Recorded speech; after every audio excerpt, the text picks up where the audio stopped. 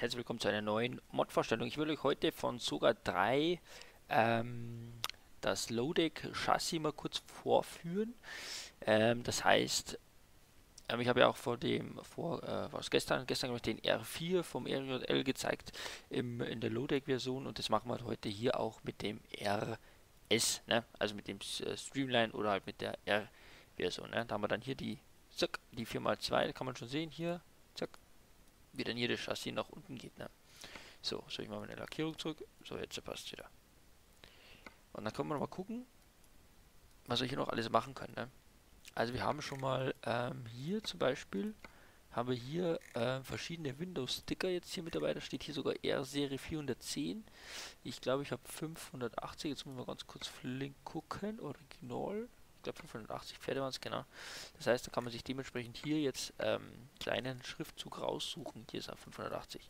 Und dann auf der anderen Seite dann natürlich genauso. Wo ist er denn? Zack, da ist er der Punkt. Da. Und das geht dann wirklich runter bis 730. Also wirklich alle Serien hier vertreten. Und dann im Interieur sieht es halt dann so aus. Ne? Eigentlich sehr schick. Sieht gut aus, gefällt mir. So. Äh, was wir noch machen können, wie schon gesagt, äh, Lodex Chassis, klar. Ich hole mir jetzt natürlich noch kleine Reifen. Gucken wir doch mal, was wir noch so zur Verfügung haben. Ich habe hier aber noch andere Felgen. Ich hole mir jetzt noch ein paar andere Felgen hier. So, zack. Mit super Logo da unten sieht es alles ein bisschen schicker aus hier. Ne? So, Scania, zack. Ich habe jetzt hier jetzt ein paar Anbauteile mit noch dabei. Die sind jetzt hier nicht mit inklusive, aber ähm, ich will es halt einfach mal ein bisschen anständig präsentieren, damit es halt dann auch gut aussieht. So, jetzt wir schauen. Da ist es mit dem super Logo. Sieht auch ganz schick aus. Äh, wir haben hier natürlich vom Euro 3, das muss natürlich hier weg. Wir sind ja nämlich schon jetzt hier in der Euro 5 oder Euro 6 Variante. Die sieht auch dann so aus und dann seht ihr hier auch die schmalen Tanks jetzt hier, ne? Könnt ihr auch gut erkennen. Dann schauen wir noch mal, wir haben hier Kunststoffverkleidung, das ist die alte. Das heißt, hier zum Beispiel hat man nur diese Lampenlights. Hier steht sie, hier, zack, zack. Oder ihr nehmt halt die Original V8-Variante in dem Fall. Ich bleibe jetzt einmal bei den Lights. So. Ne? Und dann habt ihr unten noch ja, so Sidepipes. Aber das glaube ich jetzt hier nicht mit inklusive, aber das ist jetzt wurscht. Das machen wir jetzt mal weg. Brauchen wir jetzt auch nicht. So. Ich müsste sonst mal gucken, ob ich noch irgendwas, irgendwas vergessen habe.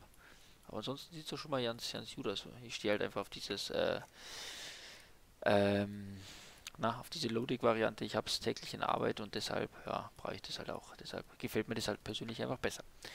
Ähm, gucken wir uns mal den Spoiler an hier. Wir haben ja jetzt hier, äh, bei der Loading-Version hat man dann hier diesen Spoiler noch, der noch nach oben geht.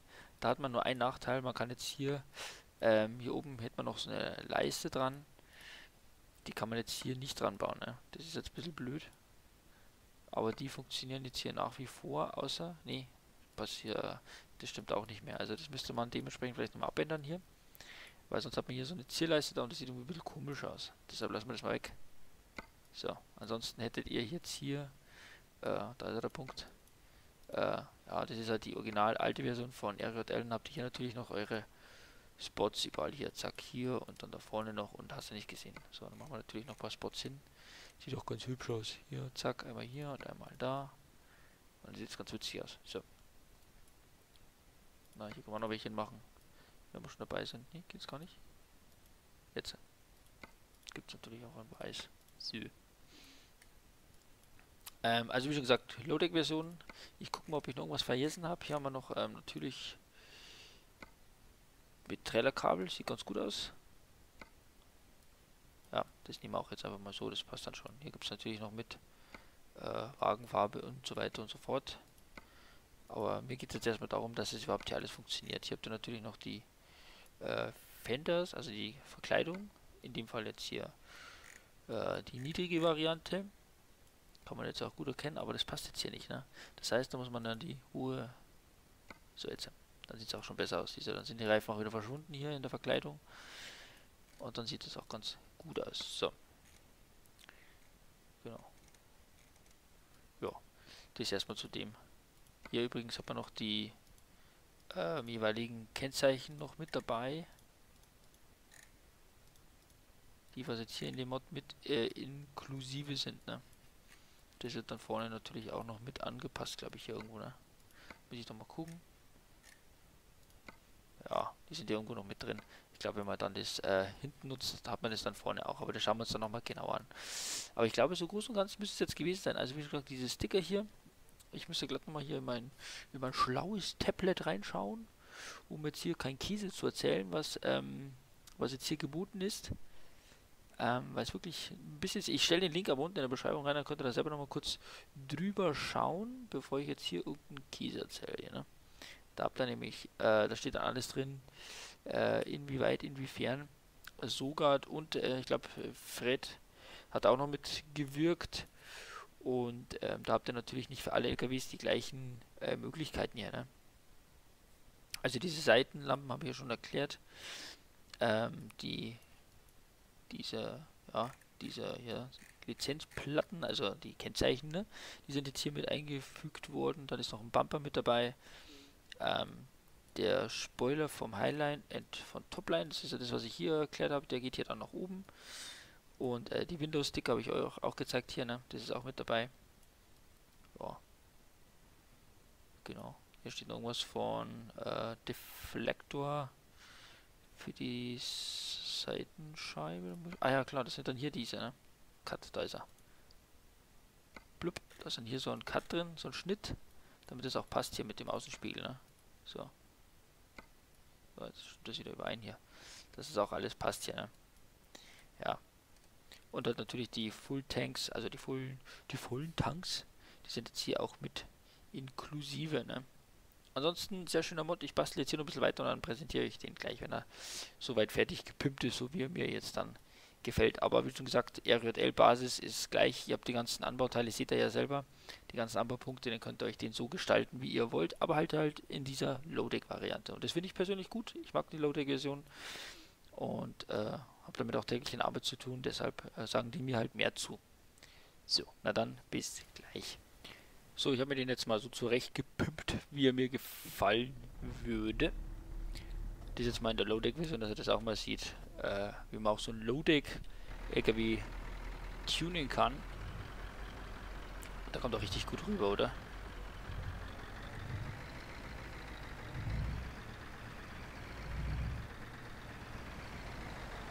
Also ich finde den einfach nur geil.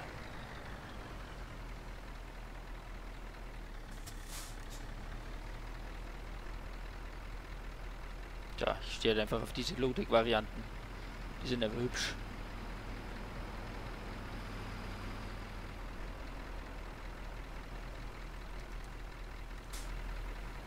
So, hier noch kurz an Nachttester.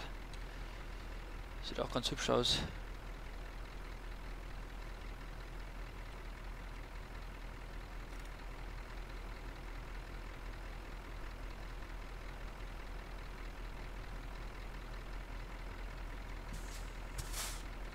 Also in der Loading-Variante funktioniert die kompletten RJL-Anbauteile komplett. Ähm ja, wie schon gesagt, funktioniert alles und das ist auch ganz gut. Also man hat keine Einschränkungen, wenn man jetzt dieses Loading, äh, diese Loading-Variante hier nutzt. Ne? Also funktioniert alles. Komplettes DLC-Verfügbarkeit ist auch da, also passt alles. So, jetzt schauen wir uns jetzt noch ein Trailerkabel noch ganz kurz an. Und vor allen Dingen auch wie äh, so ein Low-Deck-Trailer, hier stehen ja zwei. Und einer von denen war ja jetzt, wie das dann aussieht auf dem Scania. Ne?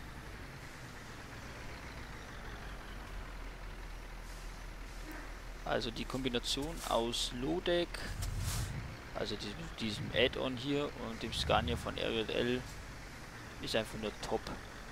Dann ein paar kleine Add-ons noch dazu, damit man den LKW schön tunen kann. Dann sieht das echt geil aus. So. Schauen wir nochmal, Trellerkabel sind auch mit dabei. Funktionieren auch soweit ganz gut.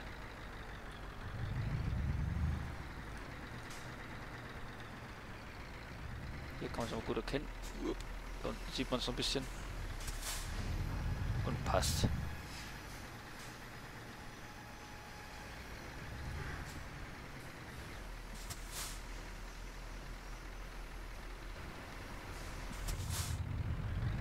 So, jetzt fahren wir noch ein kleines Stück.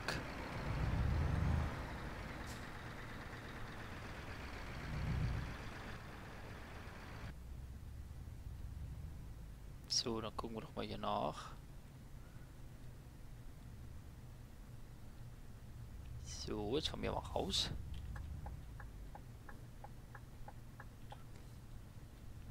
Fahren wir ein Stückchen noch ein bisschen spazieren. Bin schon lange nicht mehr ein bisschen selber gefahren. Ich komme ja, wisst ihr, ich komme ja selber nicht dazu, dass ich mal eine Runde drehe. Aber ich will das jetzt hier jetzt einfach ein bisschen nachholen. Ein bisschen mit Lodeck durch die Gegend schießen. Und dann habt ihr noch ein paar Eindrücke von dem äh, kleinen Add-on hier. Und ja, also ihr braucht auf alle Fälle dieses Add-on. Da braucht ihr den Scania von RJL, den braucht auch äh, den Mod, also die Version 2.2.3. Dann, falls ihr Kabin-DLC und Flak-DLC und solche Sachen noch braucht, ähm, äh, findet ihr dann auch in der Beschreibung, beziehungsweise im SDS-Forum in dem jeweiligen Beitrag, kommt ihr dann auf den Beitrag vom, äh, von dem Mod hier, also vom RJL-Mod. Und da habt ihr dann nochmal einen separaten Link für die Add-ons. Die findet man dann natürlich äh, auf Steam. Ne? So, jetzt fahren wir ein bisschen mal auf die Autobahn rauf. Mein, das ist aber eine Auffahrt hier bei, dieses, bei diesem Rasthof hier. Das ist der Hölle hier. Da kriegst du die Macke. So, jetzt schauen wir, fahren wir mal rauf. Schauen, wir drauf kommen. Musste flink unterwegs sein, sonst kommst du mich nicht drauf hier. So, sieht ganz gut aus.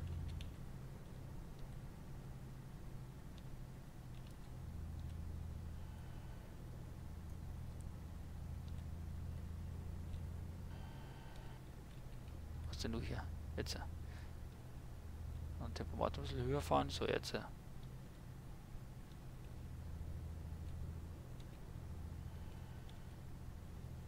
fahren wir noch ein Stückchen spazieren hier. Habt ihr den LKW nochmal im vollen Blick. Und der sieht einfach nur geil aus. Gerade in der Low-Deck-Version glaube mittlerweile, dass ähm, gerade in der Logistikbranche, dass immer mehr Low-Deck-LKWs eingesetzt werden wie die Standard-Trailer, weil man einfach mehr Kubik verladen kann. Macht für mich auch Sinn. Und ähm, deshalb glaube ich, dass diese normalen Standard-Trailer immer weniger werden. Weil bringst halt nicht so viel drauf, ne? Und beim Low-Deck-Trailer, da hast du dann einfach ein bisschen, äh, ja, so ein bisschen Spielraum, ne? Also, du musst ja investieren im Trailer so und so. Das hilft eh nichts. Und hier ist wieder los. Unfall du investieren musst du sowieso für einen Trailer und ich weiß nicht, ob ähm, die, die Kosten von einem Standard-Trailer und von so einem Lodeck-Trailer, wie man jetzt hier sehen kann, ob die jetzt so großartig mehr sind. Also kann ich mir fast nicht vorstellen. Und wenn, dann ist, hat man relativ schnell wieder rein, wenn man äh, viel... Alter, Alter, hast du eine Macke? Alter, mach die Schreck hier. Assel. Äh, ich glaube, dass man das relativ schnell wieder äh, wett hat, diese Unkosten zwischen Lodeck und äh, Standard-Trailer, ne? So.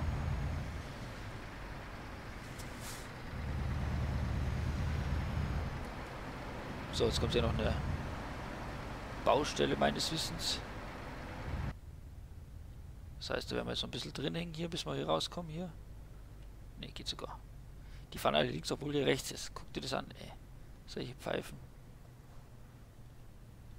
Und die ziehen jetzt 100 Pro einfach rüber, oder? Guck an, guck hier. Pfosten. Naja.